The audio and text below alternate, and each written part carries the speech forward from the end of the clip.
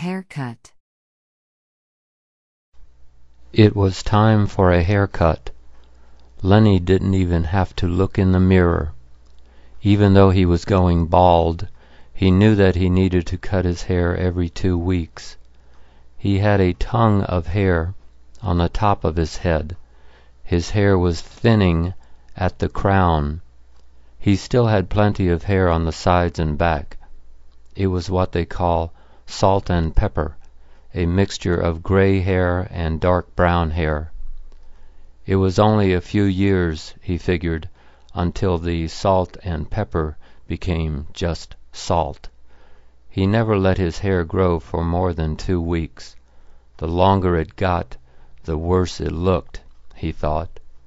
He spread a newspaper over the bathroom sink so that no hair went down the drain. He plugged in the clippers and started cutting his hair.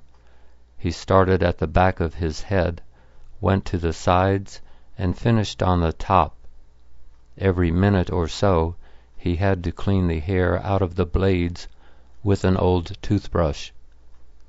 Finished, he picked up a hand mirror to check out the back of his head. Everything looked okay. He carried the newspaper back out to the kitchen and shook the hair clippings into the trash can. Then he took a shower. A shower injury.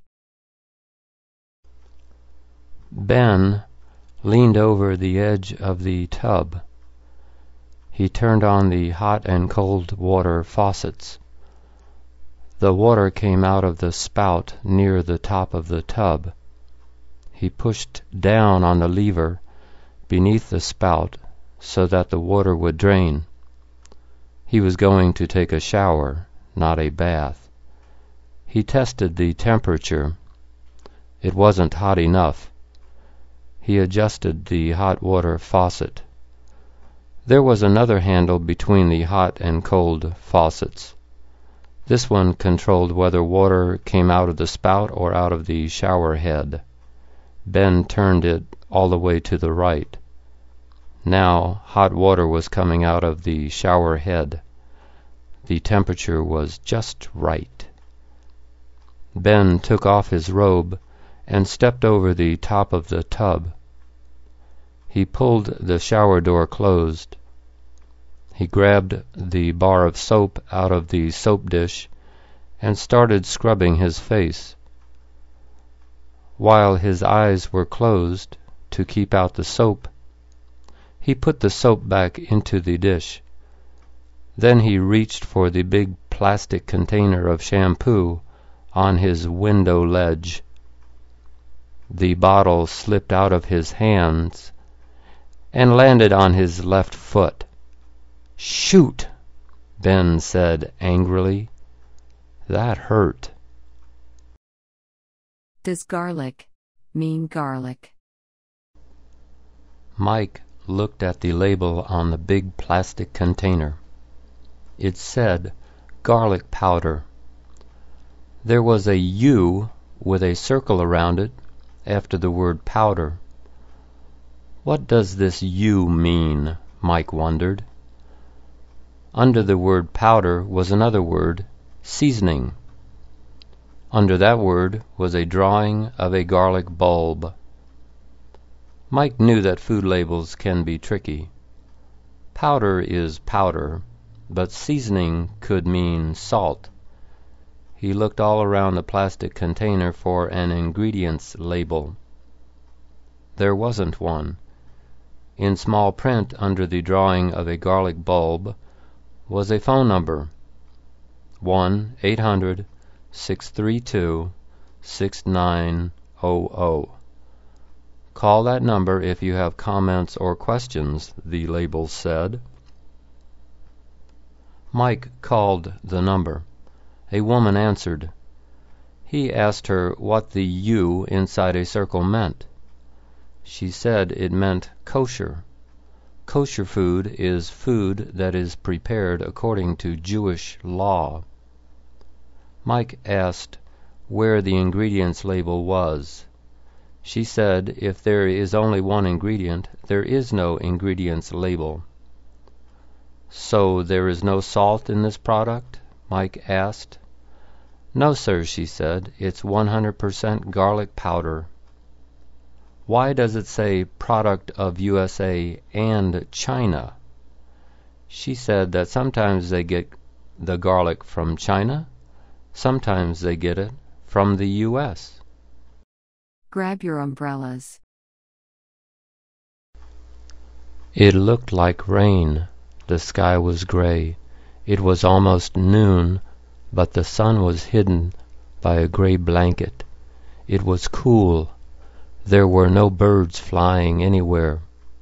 A couple of birds sat on the telephone wire. Bob was standing outside talking to Bill. They both had their hands in their pockets. They knew it was probably going to rain shortly.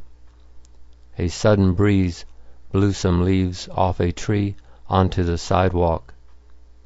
A young woman wearing a dark blue coat and jeans walked by. She was walking a small dog. It was pure white and pretty. It sniffed at a tree trunk. The woman waited patiently. Finally the dog lifted its leg. Bob said that he liked the rain.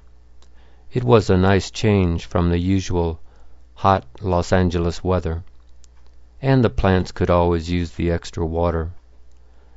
Bill said the only thing he didn't like about rain was that all the motor oil on the streets would get washed into the ocean, and so would all the trash.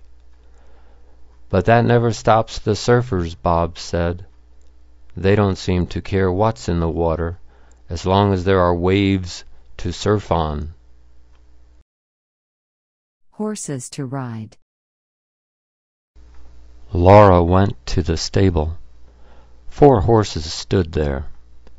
She put a saddle on Star. He was seven years old, big and dark brown. Her sister came out to the stable.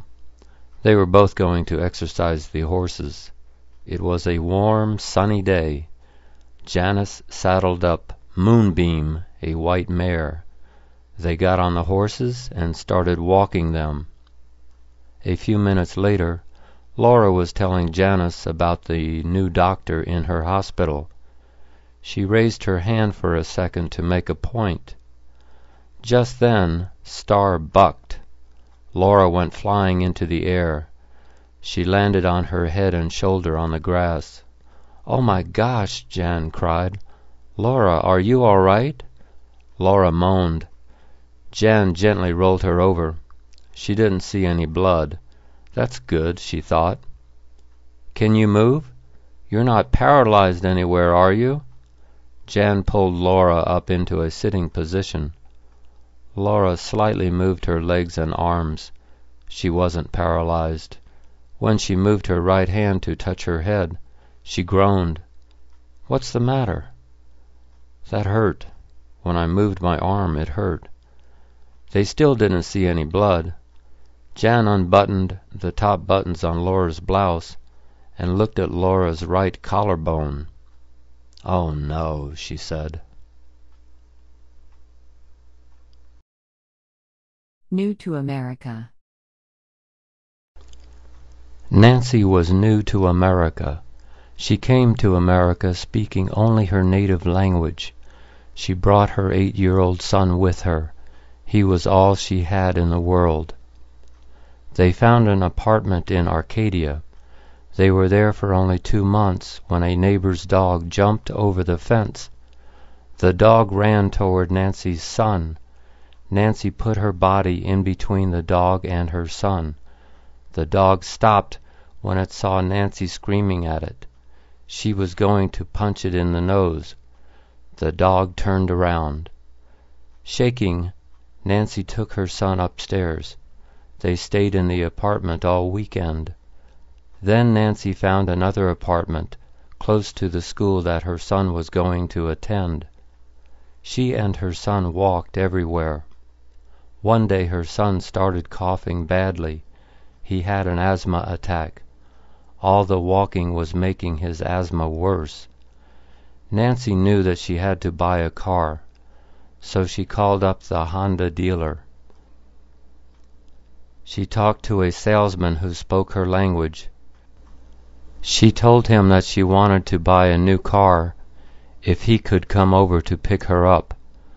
The salesman said he would be right over. Pete's sharp knife.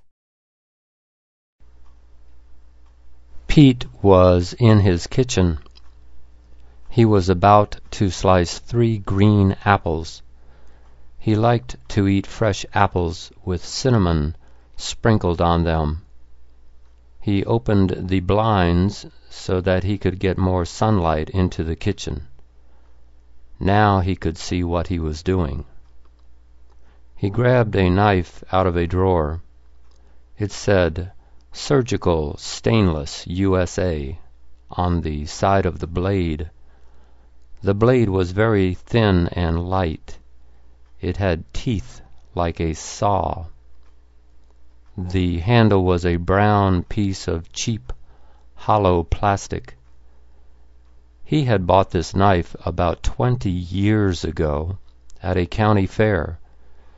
It was one of those knives that were advertised on TV. It could cut through a tomato can and then cut easily and cleanly through a fresh tomato.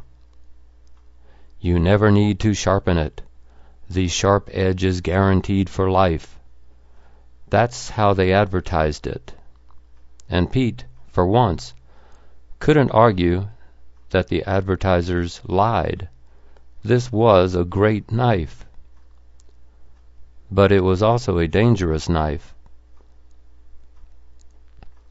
A couple of years ago, Pete was careless. He was rapidly slicing a potato and the blade got his finger. The doctor put three stitches in Pete's finger. Next time, be more careful, the doctor said. No kidding, Pete thought. He was so careful that he didn't use the knife for almost a year. Provider. Over Bill's customer.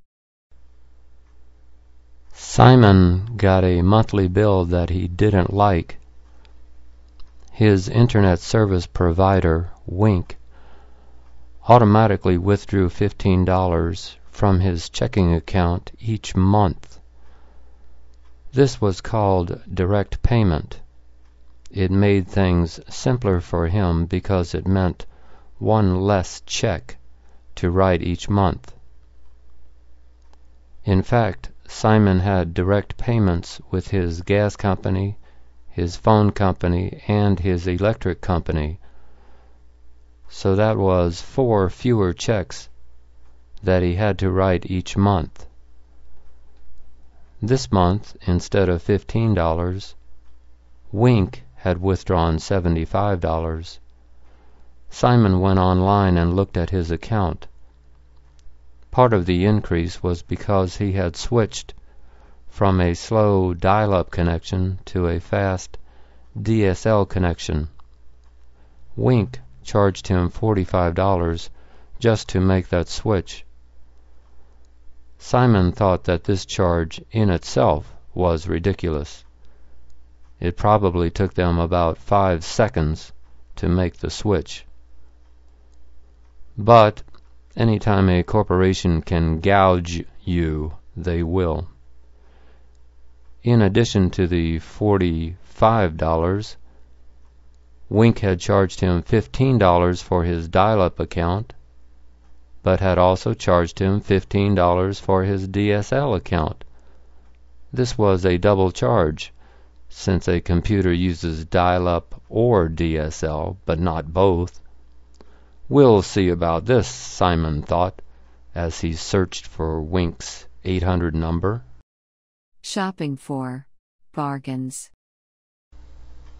Jim went to the thrift shop. He wasn't looking for anything in particular. He liked to go there just to browse. A big sign on the front door said, Open. The shop was closed on Sunday and Monday. The rest of the week it opened at 10 a.m. and closed at 2 p.m. Two women worked inside. They rang up sales and put the items into plastic bags for the customers to carry out. At the back of the shop was a big room where another lady worked. She sorted the new donations and put price tags on them. At the end of each day, she would bring the new donations out to the main part of the shop. Everyone who worked at the thrift shop was a volunteer. The only payment they received was that they had the opportunity to see and buy any items in the shop before the customers did. When Jim entered, the lady at the register told him hello. He smiled and said hello. She knew Jim because he was a regular customer. Jim said, What's new? She laughed and said that nothing was ever new at a thrift shop. It's always old and it's always used, she smiled. Jim looked at the watches in the glass case. He saw one that he liked. Could I look at that one? he asked. The Yardman. The yardman comes every two weeks. He drives a gray pickup truck. The truck is a Ford. It is about fifteen years old, but it runs well. It doesn't burn oil, and it gets decent gas mileage. The yardman's name is Byron. In the back of his truck are a lawnmower, a leaf blower, a rake, and a shovel. Byron uses the leaf blower to blow leaves and dirt from the back of the building out to the front of the building. Then he rakes up the leaves into a bag. He blows the dirt out into the street. He cuts the lawn with his lawn mower. He trims the hedge. He uses the leaf blower to blow the dirt off each welcome mat that lies in front of each apartment door. Then he puts all the leaves, the grass trimmings, and the hedge clippings into a wheelbarrow. He pushes the wheelbarrow to the back of the building, where he uses his big shovel to empty the wheelbarrow contents into the big dumpster. It takes Byron about two hours to do this work. When he is done, he goes half a block up the street to the house on the corner. There he does the same work again. Thanks for watching and please subscribe and share the video. That boots us to create more videos. And see you next time guys.